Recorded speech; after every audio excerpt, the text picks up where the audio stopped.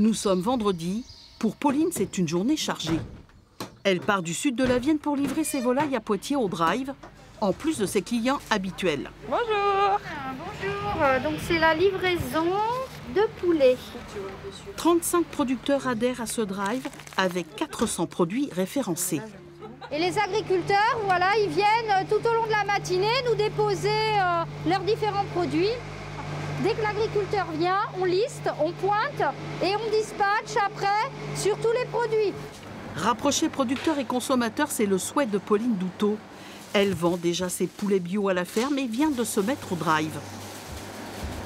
Il faut se réinventer, il faut faire un autre mode de, de production, il faut, il faut faire un autre mode de commercialisation, ça passe par Internet, ça passe par le drive. Aujourd'hui, on critique beaucoup l'agriculture, mais bon, je pense que si on va vers les gens, vers les citadins, euh, peut-être qu'à l'avenir, ils se poseront moins de questions.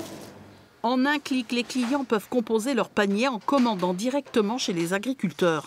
Pour le drive, on a une commande pour un paquet de saucisses. Donc là, là, on le voit ici, poulet, euh, saucisses de poulet persil. Beaucoup de clients sont à la recherche du produit de qualité.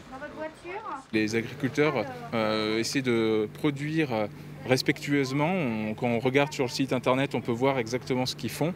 Donc c'est euh, exactement ce que je recherche. La Chambre d'agriculture a travaillé sur ce projet pendant un an.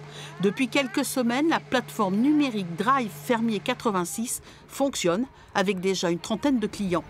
Et on s'est rendu compte aussi que euh, à la fin de ce confinement, les personnes qui ont pu en bénéficier de ces produits locaux ne, pouvaient plus puisqu'ils ont retrouvé du travail tout simplement et que euh, aller dans une exploitation, aller dans une autre ou aller sur des marchés leur était pas forcément pratique du tout pour eux.